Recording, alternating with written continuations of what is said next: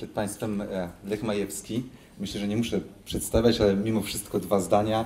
E, reżyser, pisarz, scenarzysta, malarz, e, twórca bardzo oryginalny. Pozwolę sobie zaryzykować na początek stwierdzenie, że trudny w odbiorze, ale którego, którego filmy są zawsze wyprawą w, no cóż, rejony trudne do zgłębienia, ale moim zdaniem przynajmniej fascynujące. I to zdanie podzielam nie tylko ja, ale widownia na całym świecie, bo filmy Lecha Majewskiego pokazywane są nie tylko na festiwalach, nie tylko w kinach całego świata, ale również w muzeach, co nieczęsto zdarza się, jeżeli chodzi o dzieła filmowe. Niektórzy mówią o panu Lechu Majewskim, że jest artystą totalnym. Nie wiem, czy ja zaryzykowałbym takie stwierdzenie. Do tego może dojdziemy pod koniec tego spotkania. Ale teraz oddaję już głos naszemu bohaterowi. Jeszcze raz bardzo dziękuję w imieniu całej widowni i nas tutaj prowadzących za przyjęcie naszego zaproszenia i spotkanie się z mieszkańcami Łodzi. Dodam tylko na koniec, że mm, pan Lech Majewski jest również absolwentem łódzkiej szkoły filmowej.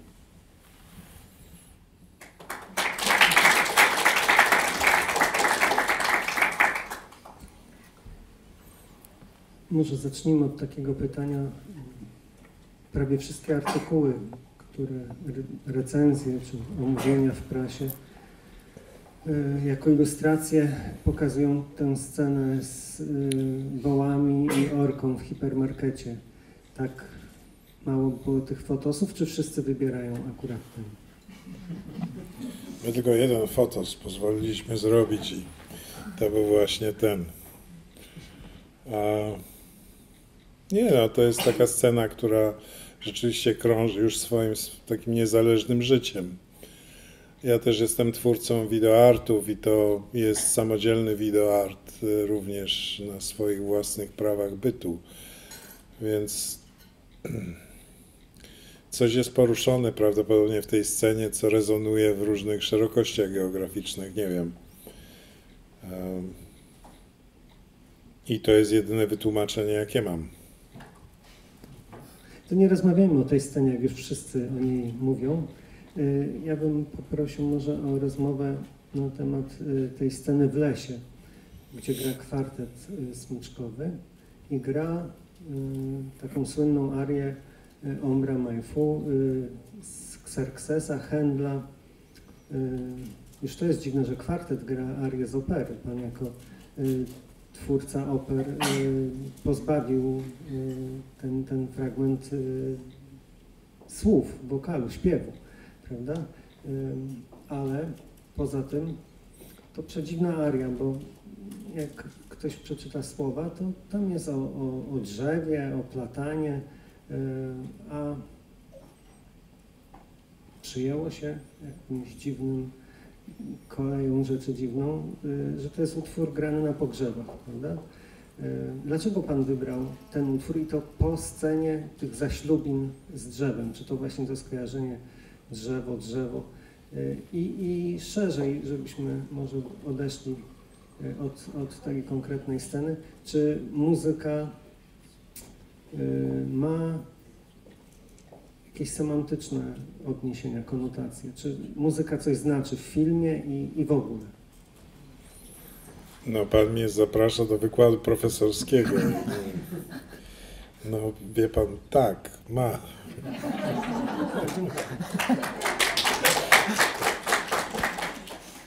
E, no, kolosalne. No, weźmy Kubryka, to był mistrz operowania muzyką, a, a szczególnie użycia muzyki już istniejącej, czy tak orzecze Zaratustra na otwarcie Odysei Kosmicznej, czy walc Straussa nad pięknym, modrym Dunajem na lot kosmiczny, no to są wspaniałe mm, wspaniałe ruchy, czy całe przetworzenie, powiedzmy, dziewiątej symfonii w Mechanicznej Pomarańczy. No to jest dla mnie takie niedościgłe mistrzostwo.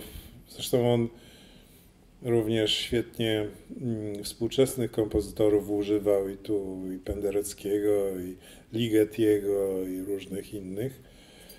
E, ja z kolei ja jestem osobą bardziej zmysłową, więc e, reaguję zmysłowo na muzykę. Zresztą mm, muzyka operowa ma to do siebie, że jest bardzo zmysłowa, szczególnie ta opera XIX-wieczna, która doty dotyczyła emocji i zmysłów.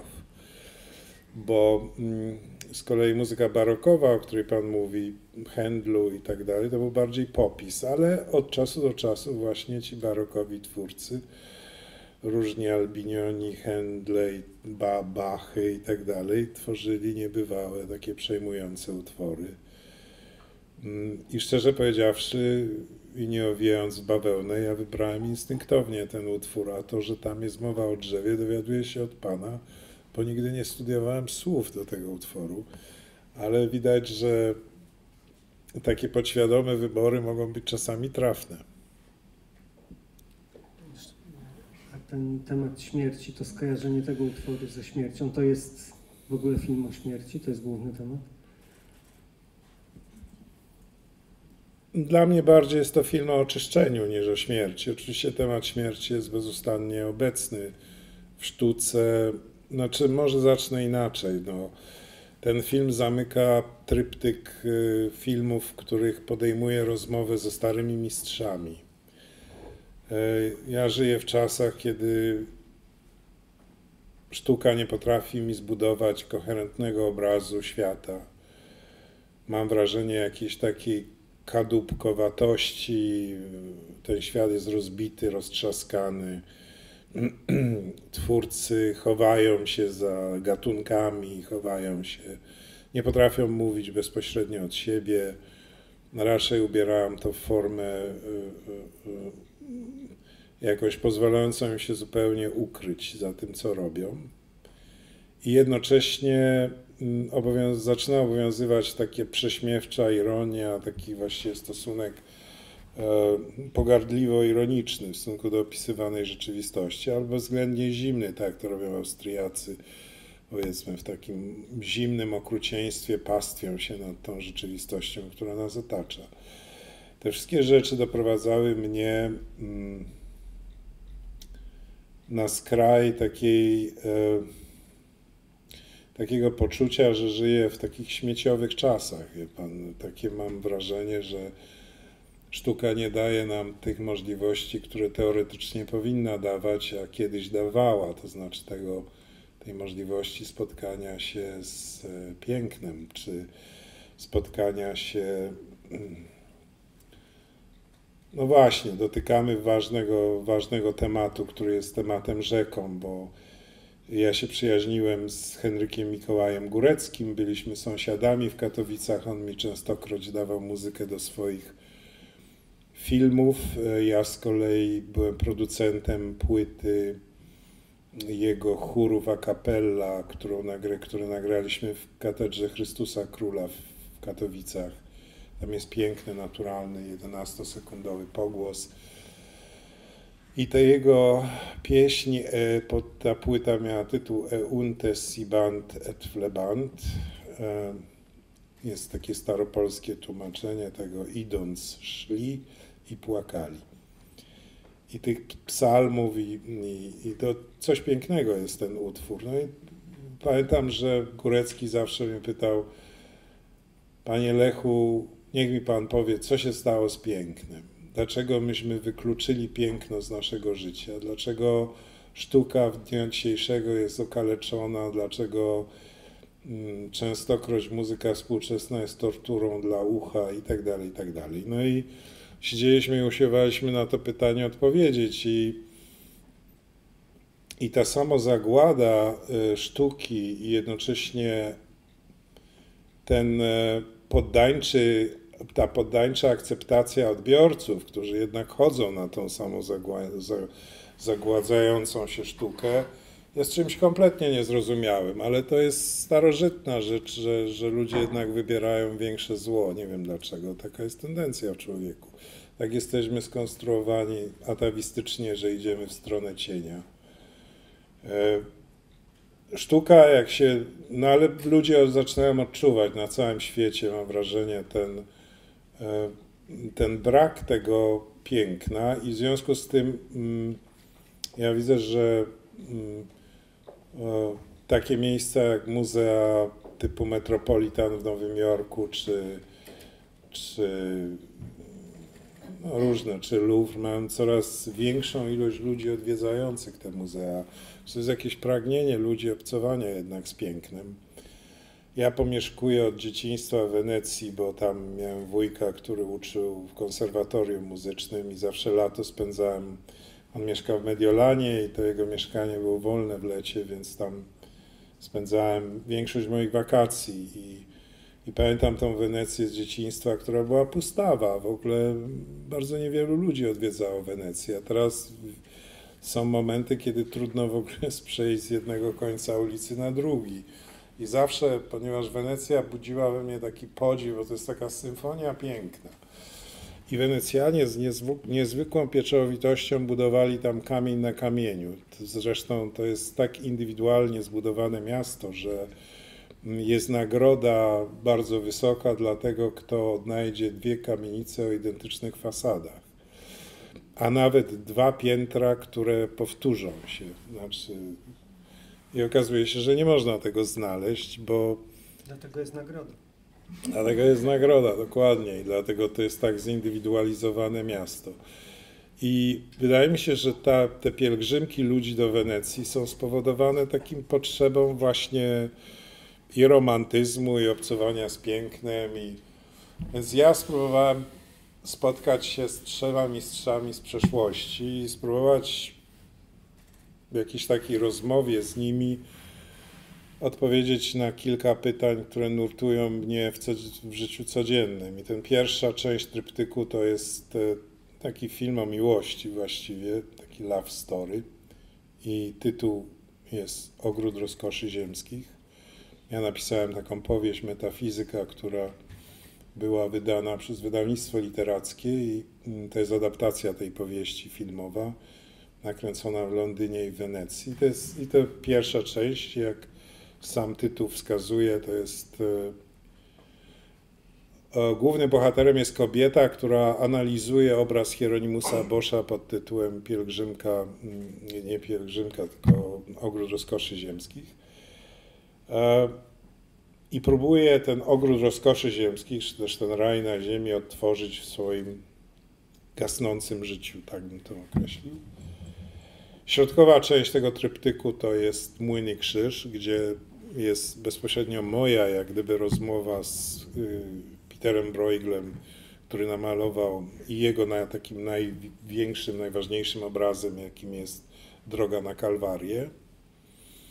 No i teraz e, Oniryka, która jest taką rozmową z Dantem i z jego poematem Boska Komedia, którą jak gdyby w różnych stuleciach różni ludzie usiłowali rozmawiać, bo my mamy głęboką tradycję rozmów z Dantem i, i, i to romantycy i wcześniej w baroku były próby i, i Krasiński ze swoją nieboską komedią i tak dalej, i tak dalej, Herbert i, i Miłosz i różni inni poeci.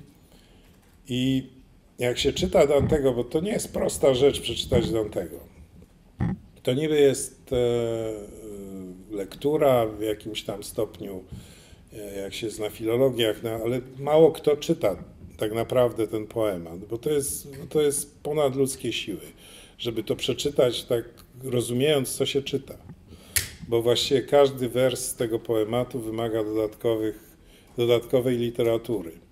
Dlatego przypisy często są grubszą książką niż sam poemat Dantego. I i to jest pierwsza taka oczywista mm, trudność w czytaniu Dantego. Jego się nie da przeczytać jak, jak jakiejś rwącej prozy. Druga jest e, trudność no, taka, że e, tłumaczenia, którym poszczególne języki dysponują, są bardzo w sumie kiepskie, nie nawet przez jakość swoją poetycką, tylko przez to, że większość tych tłumaczeń usiłuje oddać e, rym, który, to rymowanie Dantego, które które jest świetne w oryginale, bo on to bez wysiłku robi. To jest bardzo taki, jest bardzo mm, skoncentrowany język u Dantego i bardzo nośny, to jest taki hiperboliczny, nam bez przerwy jakby to znaczenie jest wystrzeliwane w czytelnika. Natomiast przy próbach, przy próbach e, tłumaczenia i wysiłkach, żeby znaleźć rymy, są, pełno jest jakichś słowotworów e, dziwnych, które e, tak naprawdę są kłodami przed okiem i trudno jest i przed umysłem. Trudno jest pojąć pewne rzeczy, bo się mówi dziwnym językiem, ten język jest nieprzystawalny do treści, gubi się tą treść. Ja się obłożyłem czytając, trzy lata mi zajęło czytanie boskiej komedii, takie, takie rzeczywiście precyzyjne, ale obłożony byłem sporą ilością różnych tłumaczeń, znaczy miałem dwa tłumaczenia polskie, Miałem oryginał, troszeczkę rozumiem włoski, a to jest jeszcze starowłoski, więc to trudność jest. No i miałem trzy tłumaczenia języka angielskiego, dwa rymowane i jedno, które uważam, że było najlepsze, to było białe, y, bez usiłowania złapania rymów. I, i to było zdecydowanie takie najbardziej przez Amerykanina. Amerykanie mają taką tendencję, żeby być jednak logicznym i czytelnym. Więc, więc takie logiczne i czytelne i to jak się przedziera przez ten poemat Dantego, to fizycznie to jest odczuwalne, bo to jest niesamowicie gęste, mm, gęst, gęst, gęste wizje i dlatego on jest umieszczony w tym tryptyku i celowo mówię tryptyk, a nie trylogia, ponieważ traktuję go jako artystę wizualnego. On stwarza niesamowicie silne, intensywne wizje, które są przerażające. I właściwie to jest ten trzeci, ta trzecia trudność, że żeby przedrzeć się przez inferno u Dantego, no to człowiek wychodzi naprawdę obolały. Jak zobaczy te wszystkie sceny, czy jak sobie je unaoczni. To jest bardzo bolesne jego obrazowanie tych cierpień różnych i tak dalej. I przez te trzy lata jakichś studiów nad Dantem ja usłyszałem niejako trochę tak przenośnie takie pytanie Dantego, ponieważ poemat Dantego jest o miłości tak naprawdę do Beatrycze. Paradoks jego miłości do Beatrycze jest kompletnie niezrozumiały dla człowieka współczesnego, ponieważ on z tą Beatrycze nigdy nie miał nic do czynienia. On tą Beatrycze widział tylko i wyłącznie na ulicy parę razy i w kościele ta Beatrycze raz mu się odkłoniła na ulicy, będąc po przeciwnej, po drugiej stronie na ulicy. To jest wszystko, co ich łączyło. A cały poemat jest podyktowany miłością do tej kobiety, która wyszła za mąż za kogo innego, przeniosła się na drugi brzeg rzeki, a Dante miał swoją żonę Gemmę, z którą miał dwójkę dzieci.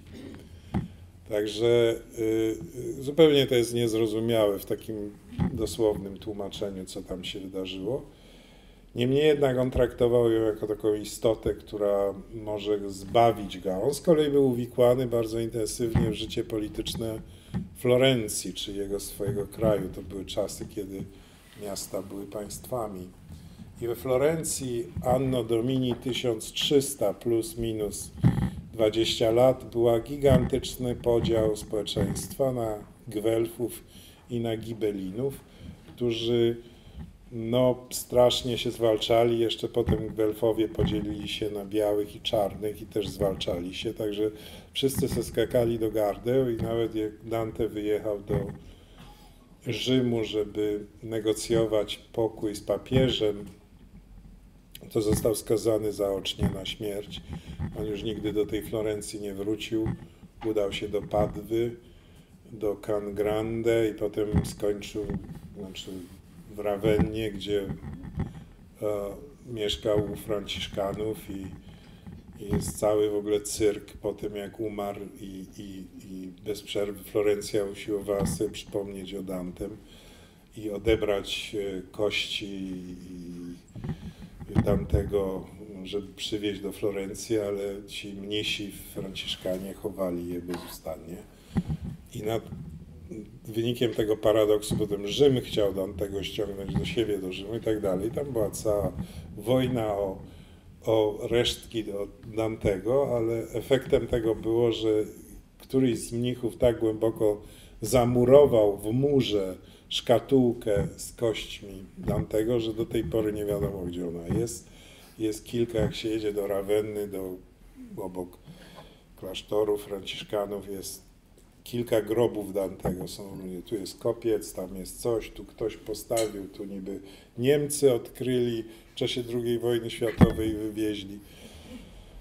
No i, mm, i ta sytuacja Dantego, czyli ta Florencja podzielona, oczywiście przywołała na myśl to, co się działo w Polsce i dzieje w jakimś sensie z tym głębokim podziałem na Gwelfów i Gibelinów w Polsce. Także jak on mnie zapytał, dobrze, tak poprzez ten swój tekst, a co ty mi powiesz, bo ja mówię o swoim kraju, ja mówię, ja ich tam tarzam w piekle, tych moich wrogów, ja mówię o swojej miłości, ja mówię o swojej filozofii, o swojej religii, a co ty mi powiesz o swoim kraju? Niejako tak mnie zapytał Dante z zagrobu. Więc y, oczywiście 2010 rok zaczął mi się układać w bardzo taki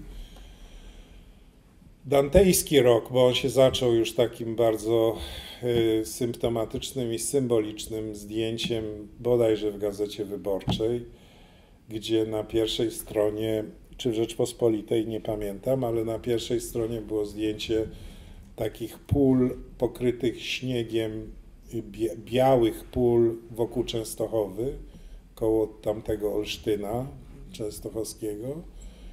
I była, e, był szpaler słupów wysokiego napięcia, które wszystkie były ciężko oszronione i oblodzone i ciężar tego lodu i szronu powyginał te słupy tak, że wyglądało to jak obraz Salvadora Dali, taki rząd śmiertek idących po swoje żniwo do kraju zwanego Polską. I, I to był już taki anteskryptum, które jak gdyby otwierało pewien obszar, bo następnym to, co się działo w Polsce, no to pięć masywnych powodzi, gdzie pół kraju było pod wodą i większość tych ludzi, tych powodzian właściwie jest w dalszym ciągu skazanych na powódź. Żyją pod mieczem Damoklesa. Nie wiadomo, kiedy ta powódź przyjdzie, nie wiadomo, co się stanie z ich domostwami. To, co osuszyli, może mogą również y, stracić po raz drugi.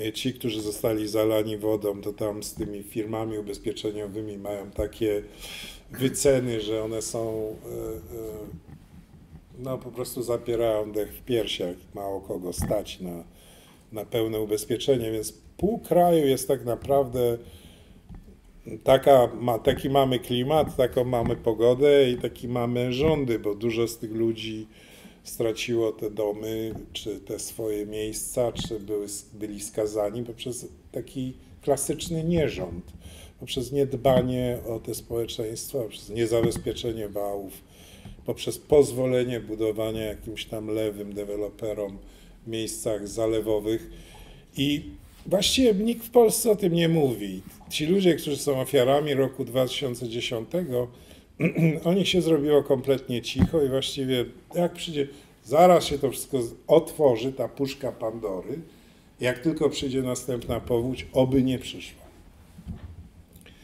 No i oczywiście nie chcę mówić o katastrofie, czy też zamachu, jaki był na samolot prezydenta w Smoleńsku nie wiadomo, co to było. Znaczy, jest duże prawdopodobieństwo, że to jest nieczysta sprawa, bo wszyscy się zachowują tak, jakby namiętnie chcieli to wkopać pod dywan, a to już samo w sobie jest bardzo podejrzane. E, nikt nie gra w otwarte karty. Rosjanie nie, nie, nie oddają, zasłaniają się jakimś bezczelnym kłamaniem, że, do, że oni coś tam niby y, dochodzą, dochodzenie trwa. No to jest taka już szczyt bezczelności, powiedzmy sobie. No ale też y, wiadomo, że pozwalamy im dosłownie grać z nami jak chcą. I, i tutaj jest y, sytuacja poniżająca dla Polski, dla Polaków. Jak ja opowiadam o tej sytuacji, czy rozmawiam z ludźmi na świecie, no to nikt nie kryje zdumienia, jak to jest możliwe, że Polska nie, nie dochodzi tych spraw, jakie tam były. No ja mówię, no jest też taki lęk, że jeżeli to jest nieczysta sprawa, no to jakie będą konsekwencje tego. No, jesteśmy, żyjemy w niebezpiecznym świecie.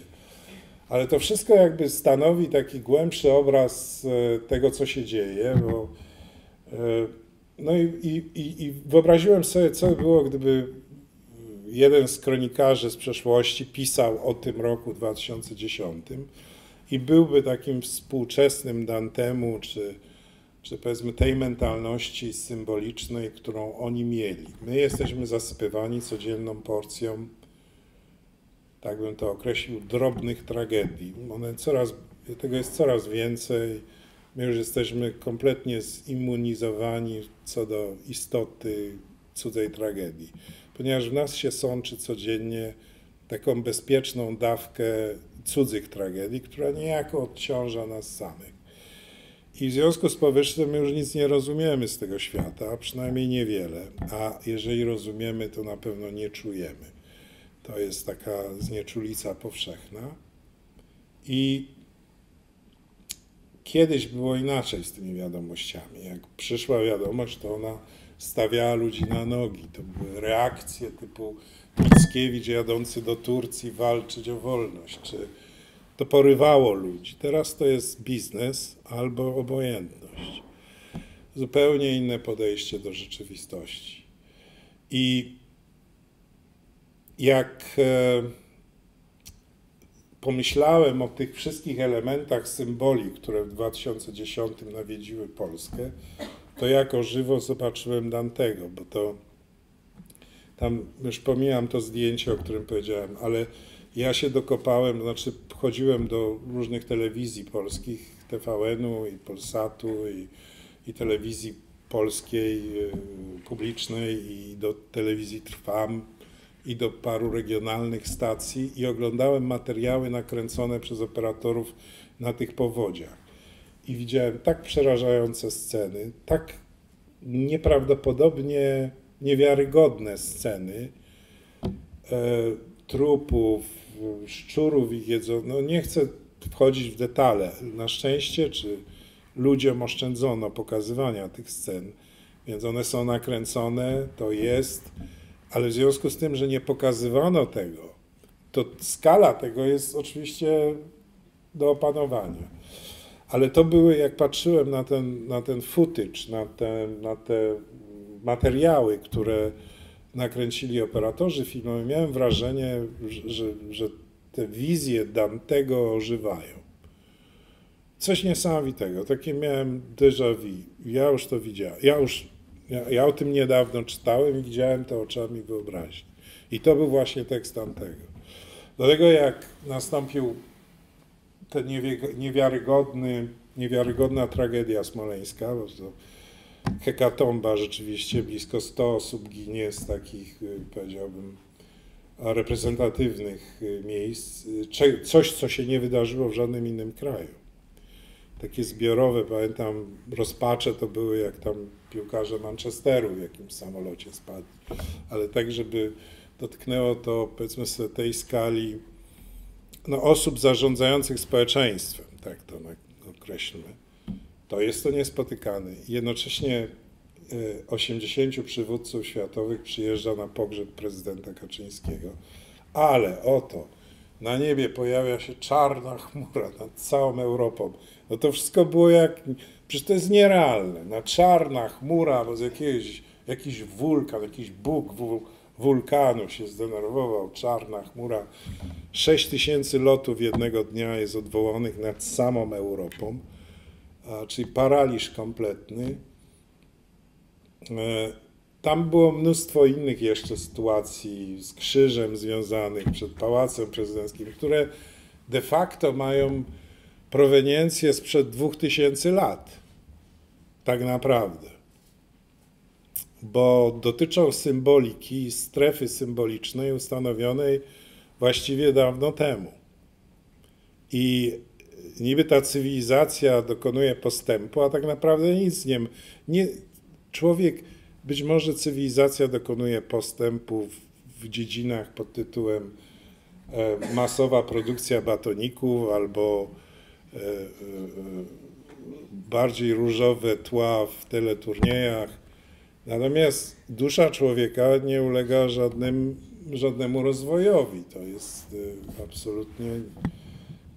Człowiek jest taki, jaki był. Być może jest gorszy. Kończąc to, co. Bo. Denerwuję się. Denerwujecie się tutaj, to. Nie, absolutnie. To, to nie wpuszczajcie mnie w trudne pytania. To ja w takim razie pozwolę sobie zapytać, e, chociaż odpowiedź już padła, e, czy pan w ogóle wierzy w coś takiego jak postęp? Bo my dzisiaj mamy, mamy chyba kult postępu na różnych polach, od techniki poprzez sztukę, a z drugiej strony pan w swoich filmach, chociażby w tym tryptyku, e, sięga do mm, twórców średniowiecznych, czy no, powiedzmy przełomu średniowiecza renesansu, w przypadku Bruegla, co wydaje się, zresztą pana drugi film, Rycerz też jest odwołaniem do, do średniowiecza, a średniowiecze wydaje się taką epoką, która jest jednak epoką zapomnianą, to znaczy ona jeżeli pojawia się, to pojawia się w kulturze masowej w formule często tak zwanego fantazy, natomiast y, jakby średniowiecze zostało zepchnięte w, tą, w te wieki mroczne tak zwane i jest pewnego rodzaju czarna legenda średniowiecza jako czasu zacofania i antypostępu właśnie. To, to dlaczego Pan wybiera właśnie twórców średniowiecznych? Ponieważ to byli bardzo światli ludzie w porównaniu z człowiekiem dnia dzisiejszego. No to w ogóle nie ma dwóch zdań. Oni nie, nie żarli chipsów, trzymając śmierdzące nogi na jakimś tam oparciu i patrząc jak 22 facetów w krótkich majtkach kopie jakiś pęcherz, żeby trafił do prostokąta. I w związku z tym są w stanie nawet wyskoczyć oknem, jeżeli tam któraś z tych drużyn, tych w krótkich majteczkach nie trafi. No to nie zajmowali się takimi rzeczami. Ale kuszono kopię, nie? Na, na, na polskich. No tak, oczywiście. Chipsów nie było, kruszono kopie i, i dzisiaj e, jest brak właśnie wśród młodych ludzi, wielu socjologów to zauważa, właśnie takich doświadczeń. W związku z tym szukałem w sportach ekstremalnych e, takiego e, plac, no, zas, środka zastępczego, po prostu tego, co zwykle służyło jako mm, ta adrenalina męska, właśnie, która kocha wojnę, konflikt, bicie się. Kobiety nie tak chętnie w te rzeczy się bawiły, historycznie rzecz biorąc, ponieważ e, być może są mądrzejsze, no prawdopodobnie tak. Mężczyźni chętnie teraz sadzają się przed telewizorem z chipsami, z chipsami i oglądają e, mecze. Panią, to jest A po nie prostu po to, żeby człowiek był utrzymany przed telewizorem w domu i po nic innego. To jest taki sam proces. Faktycznie, ale zmuszasz też. Panią, no, zmuszam Panią otoczenie, bo o czym Pani jutro porozmawia z Jakoś sobie radzę. Dziękuję serdecznie. Wcale nie Brawo, brawo. Udało się nim wzbudzić emocje na widowni. Anna mówiła, że są potrzebni dwaj prowadzący. Okazuje się, że ani jeden nie jest potrzebny. Ale na szczęście, że na razie Pan jest potrzebny, także Jeszcze, jeszcze. jeszcze, jeszcze. Ale to już coś zmierzch. Ale to mnie zaciekawiło, co Pan powiedział, że człowiek średniowieczy, z czym się zgadzam generalnie, y, był mocniej duchowo rozwinięty od człowieka współczesnego, ale te nasze tutaj oklaski po tej wypowiedzi są takie trochę wymierzone w nas samych, prawda? Bo to my jesteśmy właśnie tym człowiekiem współczesnym. Y, Pan się czuje lepszy od współczesnych, przeciętnie ludzi? No, oczywiście, że tak, ponieważ mam łączność z tymi z przeszłości.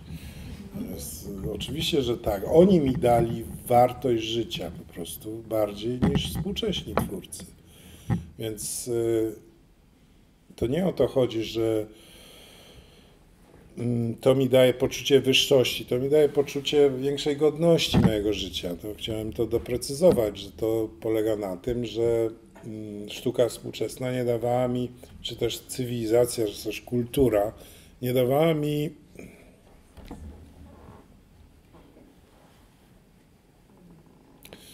nie, nie pomagała mi. No, czułem się, że żyję marnym życiem w marnym świecie, tak bym to określił. Natomiast jeżdżąc do Wenecji, tak trochę przez osmozę, patrzałem już jako dziecko, jak ci Wenecjanie musieli kochać tą Wenecję, prawda? I wracałem do Katowic i patrzałem, co się stało z kochaniem tych miejsc, czy dlaczego byle jak kładą coś byle jak, które Dlaczego jesteśmy skazani na mieszkanie w byle jakości? Dlaczego to? No zaczęło mnie to niepokoić. O co, o co tu chodzi? Dlaczego doczekaliśmy postępu cywilizacyjnego takiego, że domy budowane 60 lat temu pękają i rozwalają się w pył?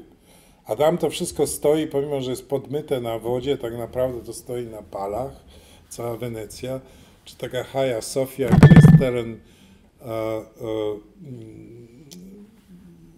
który podlega różnym ruchom tektonicznym, w związku z tym to już dawno ta niebywale gigantyczna kopuła powinna się zawalić, a ona stoi. Przecież nie mieli laserów, nie kończyli doktoratów na Politechnice. Jak to jest, że oni wiedzieli, jak budować? Ci prymitywni ludzie ze średniowiecza. Kto, kto zbudował te katedry? Przecież jak się wchodzi do takiej katedry, a teraz robią hale E, targową, gdzie gołębiarze się spotykają i sufit się na nich zawala i 64 czterech ginie i nie ma winnego. Prawda? Czyli co myśmy stworzyli? Jaką naukę myśmy stworzyli? Jaki postęp myśmy stworzyli? Przychodzi jakiś facet i robi połamane rury i sprzedaje to miastu na skwerek, żeby to było jakimś tam pomnikiem. Miasto mu płaci 200 tysięcy złotych. No bo on ma nazwisko, jest uznanym artystą. Jakim artystą on jest? Gdyby on żył w średniowieczu, to by go od razu wsadzili do więzienia.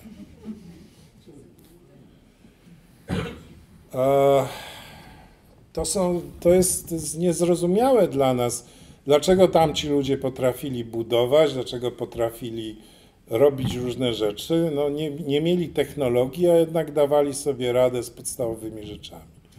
Poza tym zapominamy również, że nas cywilizacja wpędziła pewnego rodzaju pęd. My jesteśmy w pędzie ucieczki przed samymi sobą.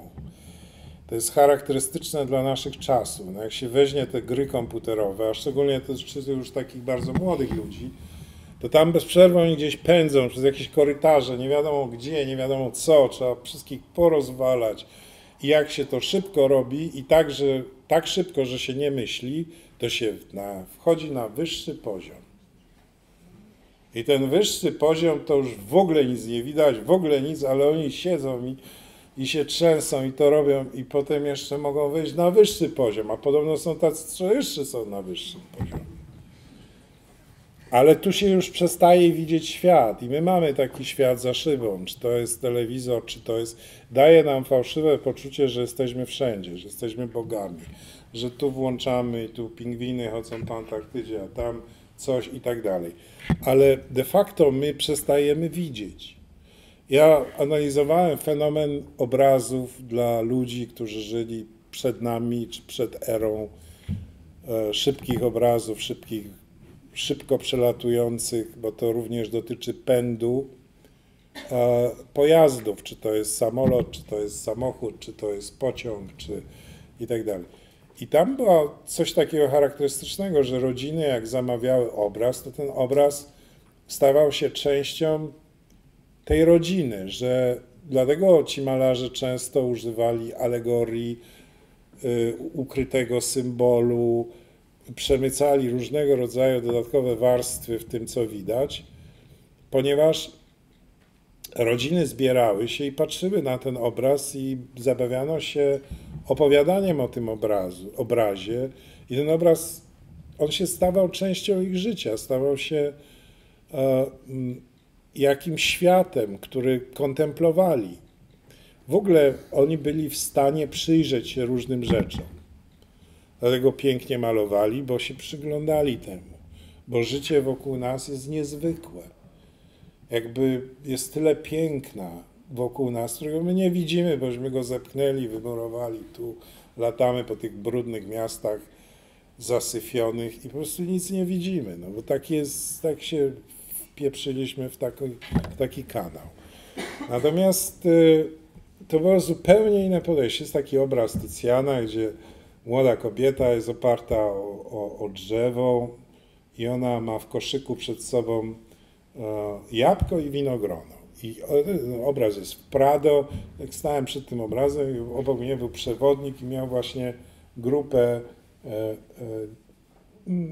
swoją grupę i tłumaczył jakby sens tego obrazu. Mówi, to młoda kobieta, piknik i tak dalej. Jaki piknik? No on nic nie rozumiał z tego, co, co symbolicznie to przedstawiało. Wszystkim ta kobieta była w niebieskiej szacie. To już powinno świadczyć, że to jest Matka Boska. Prawda? To drzewo, o które się opiera, to wiadomo, jest zapowiedzią drzewa, wiadomo jakiego. A w tym koszyku znajduje się najkrótsza metafora chrześcijaństwa. Jest, jest jabłko, czyli symbol e, e, tego grzechu pierworodnego.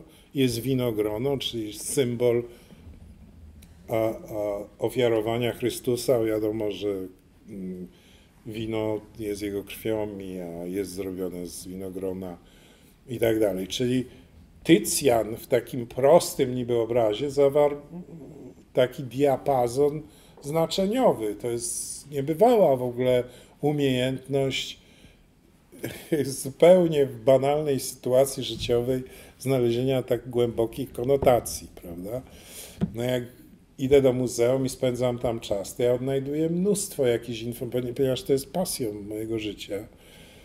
Uczenie się tego zapomnianego języka symboli, które bardzo ważne są dla człowieka, bo my ciągle żyjemy jednak, nawet jak kompletnie z tego nie zdajemy sprawy w świecie symboli. Przepraszam, ale właśnie symboli czy alegorii, to znaczy y, jednoznacznie jakichś przyporządkowanych znaków, czy wieloznacznych, otwartych symboli? To jest e, takie pytanie profesorskie, ale udzielę profesorskiej odpowiedzi. Proszę zapiąć pasy. Weźmy piłkę nożną, tą nieszczęśliwą. Co to jest? Wychodzą dwie drużyny w krótkich majtkach i kopią kulę, która ma wpaść do prostokąta. Więc mamy tu do czynienia z symbolem czy z alegorią? Symbole. Nie, mamy podwójny. Wydaje mi się, że podwójna jest płaszczyzna. Z jednej strony te dwie drużyny symbolizują kraje, prawda? Jest to Dania, powiedzmy sobie, i Polska. I jedni stoją, tych 11 to z wybrańców z Danii, a tych drugich 11, e, włącznie z tym, jak on się nazywał, tym Ramkarz. Murzynem, nie, reprezentują Polskę, prawda? I, I to jest kwintesencja narodu jednego i kwintesencja narodu. I kopią jakąś kulę, prawda? Jak ta kula wpadnie tam dwa razy do jednej prostokąta, a raz do drugiego, to tym ci, co wkopali dwa razy, są lepszym narodem. Czego to jest symbol? Czy to jest alegoria, czy to jest symbol? No jakaś, jakiś alegoria wojny. Dokładnie. To zastępuje dzisiaj, powiedzmy sobie, to jest taka symboliczna wojna, prawda? Ale te wszystkie rzeczy, które się dzieją, są alegoriami. Tam jest atak, tam jest, tam jest obrona, tam jest coś jeszcze, spryt, różne, różne uosobienia alegorii, które są przypisywane tym zawodnikom. Już nie mówiąc, że o nich się mówi w ogóle w tych kategoriach, że jeden jest waleczny jak lew, drugi jest chytry jak lis, trzeci jest coś tam, czwarty jest coś tam. Natomiast jeszcze ponad tym wszystkim jest symbolika mm, wręcz platońska, no bo odbywa się to na sztucznie wyznaczonym terenie, który ma kąty proste, kula jest kulą, wiemy, że kula jest bo wszędzie indziej obowiązują płaszczyzny, prawda? A kula, jaka ta sublimacja, jako przejście na wyższy wymiar, e, e, jest trójwymiarowym obiektem perfekcyjnym, prawda? Więc oni kopią tą kulę. My też ludzie jesteśmy trój, trójwymiarowymi obiektami. Jesteśmy, a cała reszta jest albo liniami, bo to idzie tak linia, płaszczyzna, bryła. To jest jakby piętro wyżej dodawając wymiar. Więc to jest zarówno i symbol, i alegoria. Ja pamiętam, że w Nowej Zelandii mnie zapytał taki człowiek, miałem wykład na tamtejszym uniwersytecie, zapytał mnie, co pan o tych symbolach, ja mówiłem o malarstwie i symbolach, Mówi, co pan o tych symbolach, to przecież my żyjemy w takim świecie, że nic nie jest symboliczne. Ja go właśnie wtedy zapytałem, a czy pan e, jakiś sport lubi? On mówi, tak, lubię soccer, taki europejski soccer. A ja mówię, a która drużyna pan? No ta i ta. Ja mówię, no, no i właśnie przed nim tą analizę robiłem. No, on nie zdawał sobie sprawy, że to jest kompletnie symboliczna rzecz i alegoryczna, nie mająca żadnego praktycznego przełożenia na cokolwiek, a jednocześnie z, zahacza jego najgłębsze emocje. Bo on się przyznał mi bez bicia, że bardzo się tym przejmuje i to stanowi tam, że jak wygrają, to się bardzo cieszy, jak przegrają, to chodzi struty. Ale czy w takim razie w ogóle ludzie współcześnie mają potrzebę przykładania wagi do symboli albo próby ich zrozumienia? Bo to z kolei wymaga czasu i pewnego wysiłku, a czas jest towarem mocno deficytowym, przynajmniej w tak zwanych społeczeństwach wysoko rozwiniętych. Czy to nie jest może tak, że ludziom te symbole się w jakiś sposób narzuca? Oni ich nie rozumieją mm, i, i są poddawani manipulacji. O Jezus, wchodzimy na naprawdę takie pola, wy mnie tak wypuszczacie.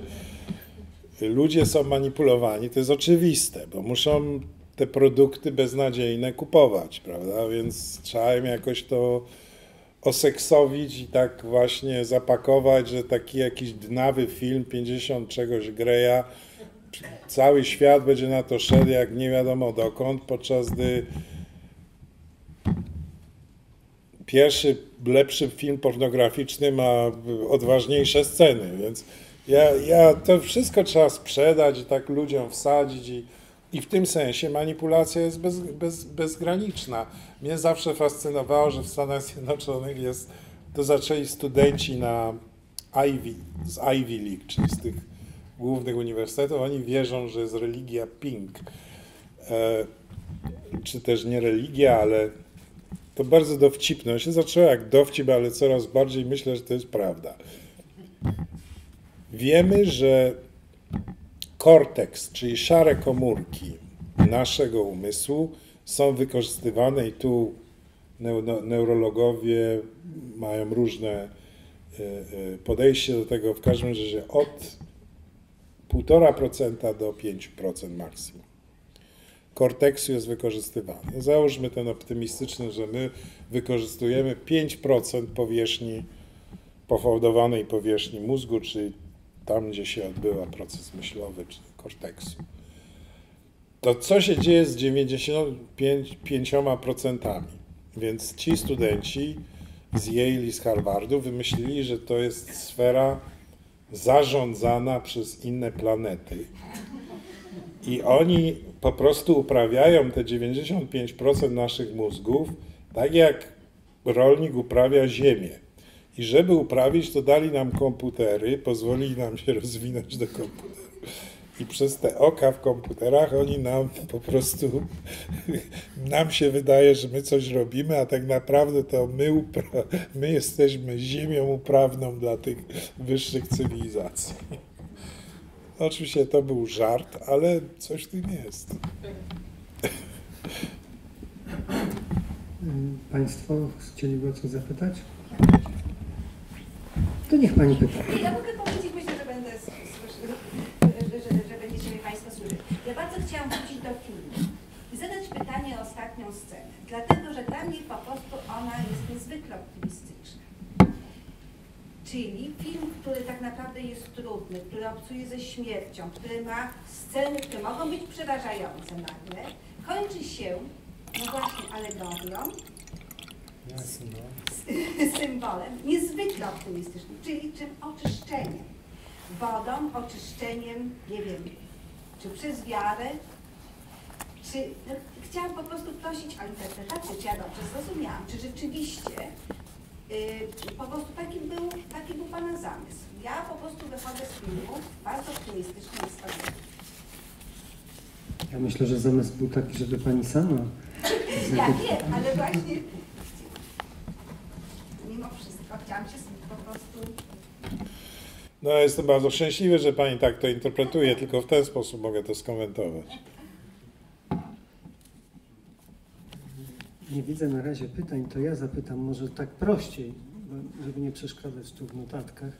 E, Jednym uchem Pan będzie słuchał i jest Pan świetnym rozmówcą, e, co dzisiaj zostało dowiedzione. Natomiast w tych filmach, bo znam nie tylko ten, ale i inne, dialogów jest mało, a jak są, to proszę wybaczyć, nie najlepsze.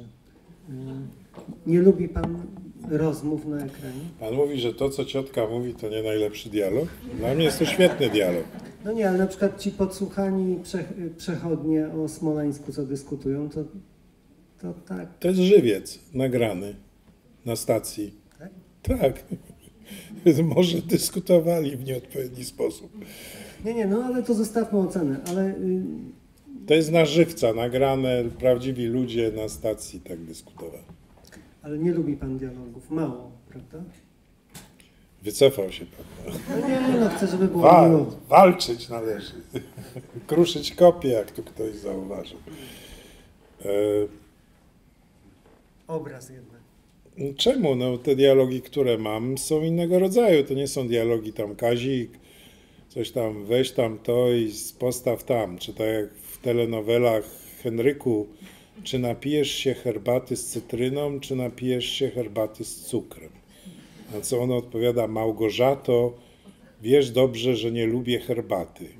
A ona mówi, ach tak, zapomniałam. No i tu wszyscy już wycierają ręce, bo minuta poleciała i za to jest kasa. Jeszcze jak używają wołacza, to jest dobrze. A. A to też ciekawe, tak. No i tak to się mówią. Nie wiem, no moje dialogi dotyczą innej sfery i jak już są, to nie wiem, wydaje mi się, że one, ja bardziej mnie interesuje trochę inna sfera. Mm, Bardziej skłaniam się w stronę jakiejś poezji, tego co się mówi, czy raczej niż. Natomiast jeżeli chodzi o najlepszy przykład, to było jak miałem retrospektywę w MOMie, Museum of Modern Art w Nowym Jorku, to tam pokazywałem taki film, który e, w Polsce wszedł jako Szklane Usta i, i, i e, tam nie ma w ogóle ani jednego słowa i, i ktoś na widowni zapytał mnie, dlaczego pan e, w ogóle nie, żadnego dialogu nie użył w tym. Już miałem odpowiedzieć, a, ale ktoś z sali powiedział, to Amerykanie to tak właśnie ze sobą. Zresztą tak jak wy, no. Y, y, Oni się nie krępują i mówią, co myślą, więc y, ktoś powiedział mu, co pan głuchy, tam były dialogi i tak dalej. I ten, a ten powiedział, że to on nie jest głuchy, tylko że temu się przesłyszał. I zaczęła się taka wymiana między można powiedzieć, że kino się podzieliło na dwa obozy. Tych, którzy twierdzili, że na pewno tam nie było ani jednego słowa, i tych, którzy twierdzili, że tam były intensywne dialogi. I właśnie ja zapytałem potem tych, co twierdzili, że były intensywne dialogi, bo sprostowałem oczywiście, że nie było ani jednego słowa, znaczy, że formalnie rację mają ci, którzy mówią, że nie padło żadne słowo. I co się okazało, że ci, którzy słyszeli słowa, to tak naprawdę po namyśle stwierdzili, że tak naprawdę to oni rozmawiali z samymi sobą. Więc jeżeli film doprowadził kogoś do siebie samego, to uważam to za ogromny sukces. Prawda? Bo mówią, ty nie szanujesz film, widzów, bo robisz trudne filmy. No ja właśnie szanuję widzów. Nie wciskam im tandety, tylko staram się ich zaprosić gdzie indziej. No to po prostu do poważniejszej rozmowy, którą ludzie nie lubią. No dzisiaj się ucieka od wszystkiego. Mówiłem o tej szybkości ucieczki, ale najprościej jest to powiedzieć tak. Największe pieniądze się zarabia na uciekaniu, od, na dawaniu ludziom sposobów na ucieczkę od siebie samych. Czy to jest alkohol, czy to jest narkotyk, czy to jest jakiś film, czy to jest. To jest ta ucieczka. A mówiąc o pośpiechu i pewnej prowizoryczności, to z kolei w Pana filmach bardzo ogromna waga położona jest na kwestię detali. Pan pracując przy filmie stara się dopracować każdy szczegół. to jest chyba też trochę takie niepopularne, bo pewnie bardzo przedłuża produkcję, podejrzewam. A z drugiej strony pytanie, czy aż ma tak duże znaczenie dla widzów? A właśnie. A może mi pan zagwarantować, że ja, być może te moje filmy umrą za parę lat, ale być może ktoś je będzie oglądał za jakieś ileś tam lat. Zawsze to jest komunikacja i ma znaczenie. Już przegadaliśmy trzy następne seanse, bo tam ludzie czekają, ale Tam takie krzyki były na tamtym stanie. no właśnie, nie wiem, czy Państwo W takim razie podsumowując, no, chciałam podziękować Panu, że tworzy Pan filmy, które umożliwiają użycie intelektu. Proszę bardzo. Ja jeszcze chciałem o, o, o ten sen zapytać, jak może jeszcze nas nie wyrzucą, to y, bo mówi Pan o ucieczce, ale bohater też ucieka w sen. Czy jest jakaś różnica między tym? A może sen jest szlachetniejszą formą ucieczki niż gry komputerowe czy narkotyki? On też coś łyka. Dobre pytanie, co on łyka. Właśnie, nasen, nasenne czy przeciwsenne pobudzenie? Nie wiem, nie wiem, nie sprawdzałem. Y, Natomiast y, poetyka snu jest poetyką, która operuje logiką, którą uważam jest bliższa człowiekowi, czyli lo- logiką paradoksalną, w przeciwieństwie do przyczynowo-skutkowej. My usi- usiłujemy mm, sprowadzić ogląd świata do logiki przyczynowo-skutkowej. I, e, a to jest niepełny obraz świata. Ja uważam, że ja jestem.